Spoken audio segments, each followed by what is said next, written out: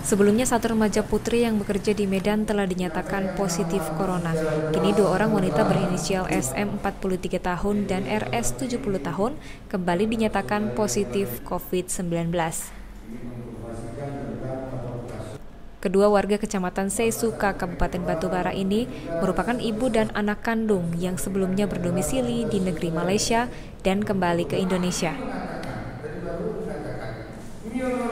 Setelah kurang lebih satu bulan di kampung halaman, kedua ibu dan anak tersebut hendak kembali ke Malaysia dengan mengurus surat keterangan yang dilengkapi uji swab PCR.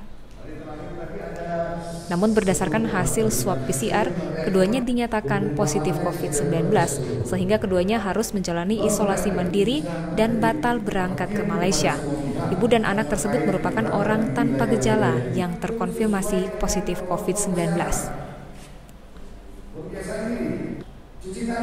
Dengan ditemukannya dua orang warga Batubara positif COVID-19, gugus tugas percepatan penanganan COVID-19 melakukan paid test terhadap 10 orang terdekat dan hasilnya non-reaktif.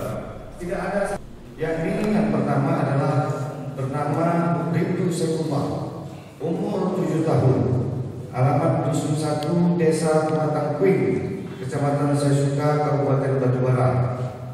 Yang kedua adalah nama Sumiati Damani.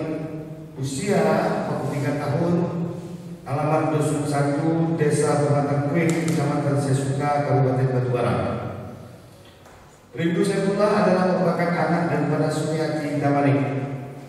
Yang pada hari yang lalu tanggal 19 Berdasarkan surat dari para Kepala Dinas Kesehatan Provinsi Sumatera Utara tentang hasil pemeriksaan sampel COVID-19 yang diperiksa pada tanggal 18 Juni 2020 dengan hasil positif COVID-19.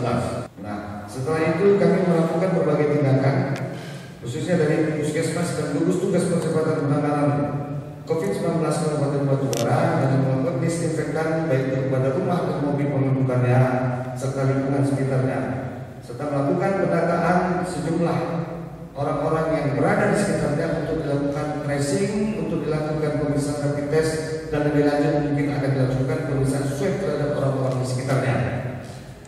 Nah, Penemuan dua kasus baru ini menjadikan Kabupaten Batubara masuk dalam zona kuning dengan total tiga kasus terkonfirmasi positif COVID-19.